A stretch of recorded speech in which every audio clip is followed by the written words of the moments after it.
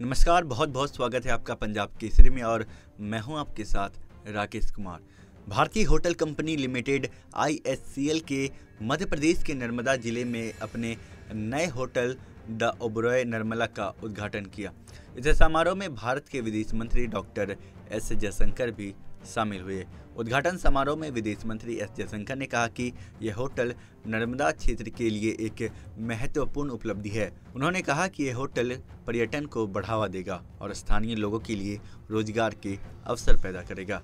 आईएससीएल के अध्यक्ष और प्रबंध निदेशक शशि थरूर ने कहा, द ओबरॉय नर्मला, नर्मदा क्षेत्र में एक अत्याधुनिक और लग्जरी होटल है। उन्होंने कहा कि यह होटल पर्यटकों और प्रवासियों को एक आरामदायक और यादगार अनुभव प्रदान करेगा। दाबरोय नर्मदा होटल में 120 कमरे स्वीट हैं। होटल में एक रेस्टोरें एक बार और एक स्विमिंग पूल और एक स्पा, इसके साथ भी एक जिम भी है। होटल का उद्घाटन नर्मदा ज़िले के लिए एक महत्वपूर्ण घटना है। यह होटल पर्यटन को बढ़ावा देगा और स्थानीय लोगों के लिए रोज़गार के अवसर पैदा करेगा।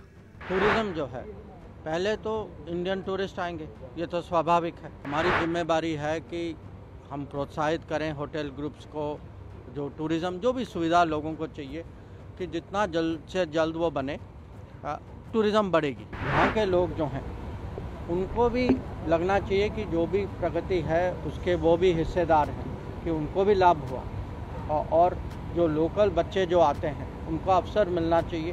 पिछले पे जब से ये स्टैचू ऑफ़ यूनिटी बना है कि इसका कितना प्रभाव हुआ है कितनी बड़ी टूरिज़्म डेस्टिनेशन बनी है। पहले अगल बगल के लोग आते थे अब पूरे देश के लोग आते हैं यहाँ। हम्म? अब लोग आते हैं यहाँ तो कम से कम एक रात दो रात तो रुकना भी चाहते हैं और चाहते हैं कि होटल बने सुविधा हो। तो आ, हमारा जो हमारी ज़िम्मेदारी है कि हम प्रोत्साहित करें होटल ग्रुप्स को जो टूरिज़्म जो भी सुविधा लोगों को चाहिए कि जितना जल्द से जल्द वो बने टूरिज़्म बढ़ेगी। और उसके लिए जैसे मैंने समझाया कि हमें वो लोग चाहिए कि अब इनका जो ट्रेनिंग अभी जो आप देख रहे थे, कुछ जो है फ्रंट ऑफ़िस का कोर्स कुछ जो है फ़ूड और बेवरेज उसकी सर्विंग कैसे करनी। और एक तो है कि पब्लिक को सुविधा मिले।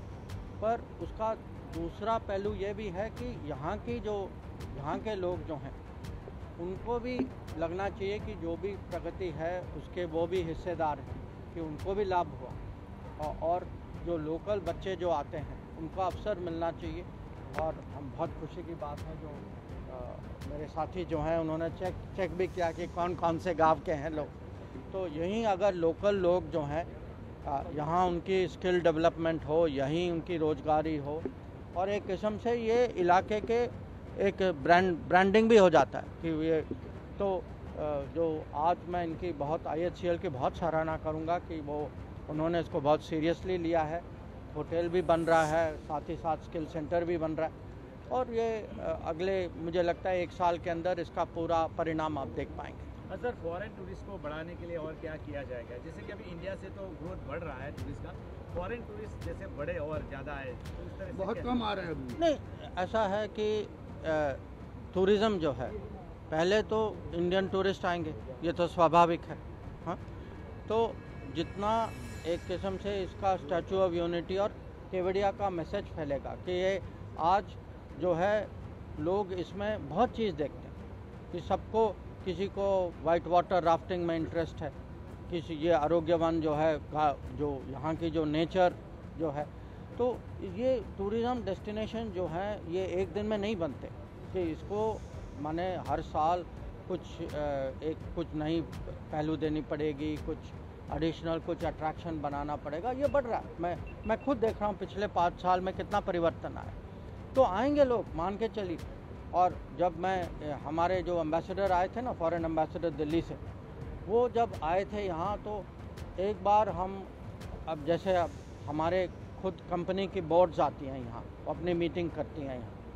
अब फॉरेन बोर्ड भी आएँगे, और या जो जो किसी और अपने भारतीय दोस्त के, से सुनेंगे वो कि बहुत अच्छी जगह है, यहाँ आना चाहिए तो ये आएगा अपने अपने समय पे आएगा।